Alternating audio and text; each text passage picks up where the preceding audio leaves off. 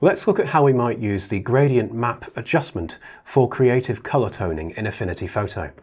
First, let's add the adjustment. So we'll go to Layer, New Adjustment Layer, and Gradient Map here. Okay, so on this dialog, we have currently three gradient stops. These represent the shadows, midtones, and highlights. So shadows are currently being mapped to the color red, midtones to green, and highlights to blue. So one way in which we can use this is to change these colors that are being mapped. Let's move across to the Layers panel and hide the gradient map adjustment for now. Okay, I'll select the shadow stop, click into color here, and I'm going to click drag on the color picker icon and color pick a suitable shadow tone within the image. Let's choose a gray down here, release the mouse button, and then I need to click here to assign my color picked value to that gradient stop.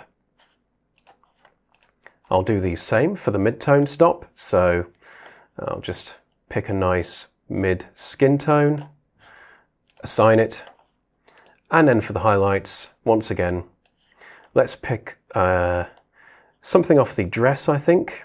So let's try and find a nice bright area of the dress and then assign that.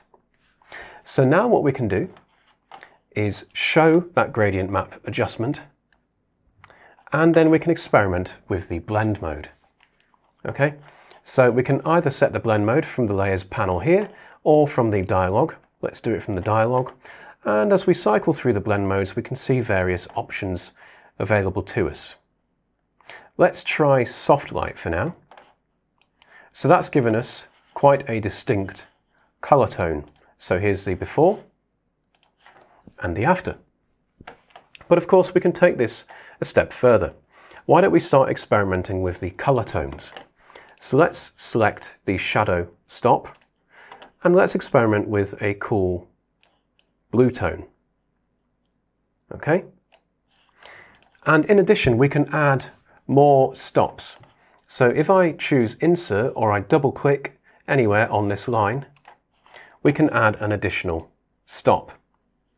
And we can use these stops along the line by click dragging them to adjust the balance between these shadows, midtones and highlights until we find a good balance for whatever kind of tonal color work we're trying to achieve. Okay, and don't forget to experiment with blend modes and also the opacity to control the overall strength of the effect that the gradient map is having. So there we go, just a quick look at the gradient map adjustment.